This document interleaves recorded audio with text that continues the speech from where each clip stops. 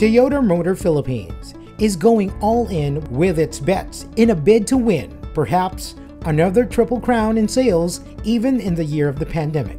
These bets include the refreshed Rush lineup. Interestingly enough, the E-grade variant of the Rush that has gotten the most number of upgrades.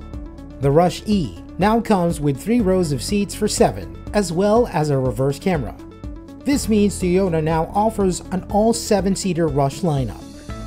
All variants retain key Rush features like the high 220mm ground clearance, 7-inch infotainment system, back sonar, plus safety features like 6 SRS airbags, anti-lock brake system, vehicle stability control, and more.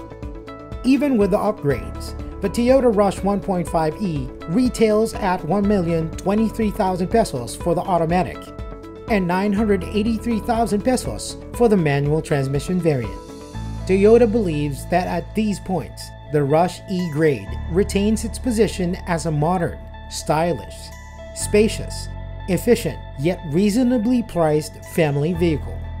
The refreshed all 7-seater Rush lineup now retails at all 70 of Toyota dealerships across the country.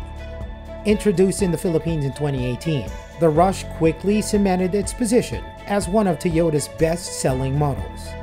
TMP sold more than 15,000 units of the Rush in 2019, making it the best-selling entry SUV model of the year.